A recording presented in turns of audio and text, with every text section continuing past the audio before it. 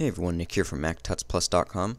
I've got a real cool quick tip, quick tip I'm going to be showing you today. I'm going to show you how you can use uh, change some settings in system preferences to make your Mac uh, find and fix your spelling errors for you. It's a pretty nice way to speed up your typing or uh, correct spelling errors that you might make often.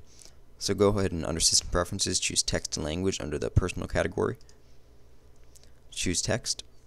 And now if you come over here, you can see uh, this little plus right here go ahead and click that, and in the first spot, you're going to be typing down the spelling error. So you could type down don't, but with the semicolon instead of the apostrophe. And under replace with, type down don't with the correct spelling. Now if I come under uh, a program like TextEdit, type down don't with the wrong spelling, then press space, and it'll automatically correct it for me, so that's real nice. And another thing you could do is go ahead and add another one here type down thanks, THX, and then replace that with the correct spelling.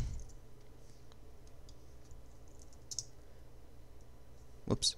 Make sure you click off it to save the setting. And there you go. So that's a real cool and easy way to go ahead and speed up your uh, typing on the Mac. And uh, also fix your spelling errors. Thanks for watching.